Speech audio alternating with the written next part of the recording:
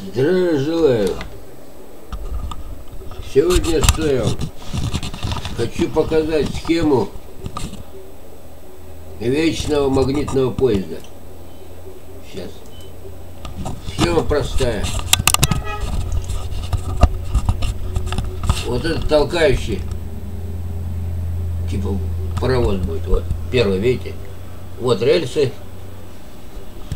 Здесь вот состав железнодорожный. Здесь вот толкающий небольшой, ну типа электровоз там. У него здесь большой магнит. Так, мощный, постоянный. Здесь расстояние вымеренное, так, чтобы он толкал это.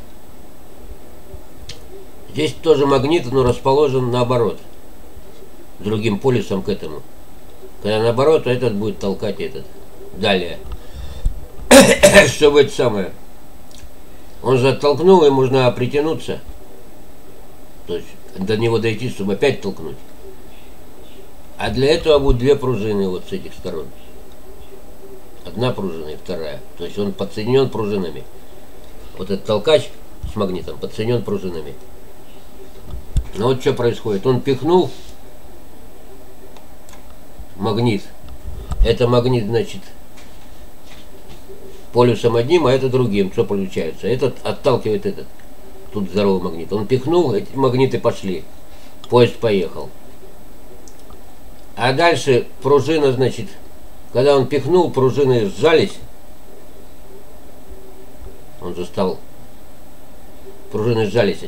Поезд этот рванул, пружины разжались, он снова пихнул. И так бесконечно. То есть, видите, что получается? Эти пружины позволяют делать бесконечное движение. То есть, в принципе, это все просто. Но вот для того, чтобы это внедрить,